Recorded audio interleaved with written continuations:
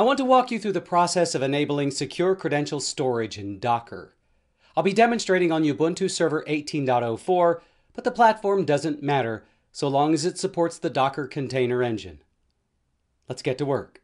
Without a GUI, you need to install RNG tools with the command sudo apt-get install rng-tools-y. Once the installation completes, generate the required entropy with the command sudo rngd-r slash dev slash urandom. Next, install the pass tool with the command sudo apt-get install pass-y.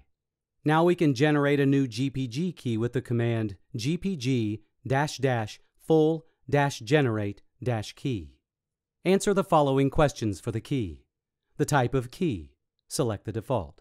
Key size, select the default. Key validity, select the default. Save the values by typing Y.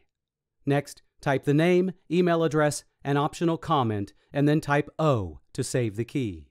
When prompted, type and verify the password for the new key. Create a new directory with the command mkdir tilde slash bin. Change into that newly created directory with the command cd tilde slash bin.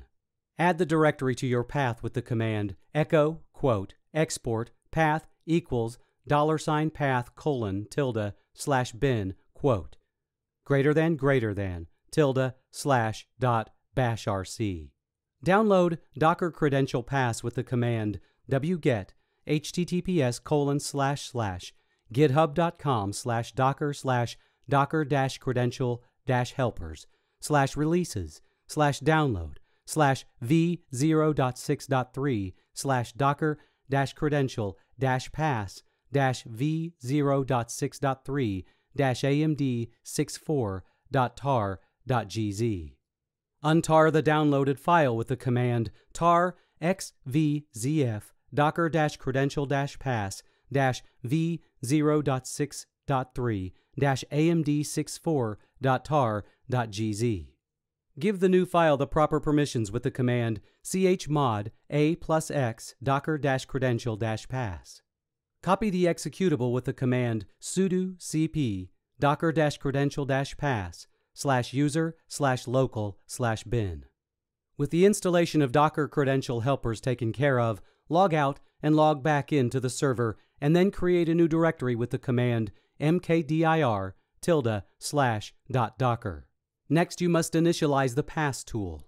To do this, locate your GPG ID with the command gpg list secret keys. Locate the ID associated with the key you want to use and then initialize pass with the command pass init string, where string is the GPG key ID you want associated with the credential storage.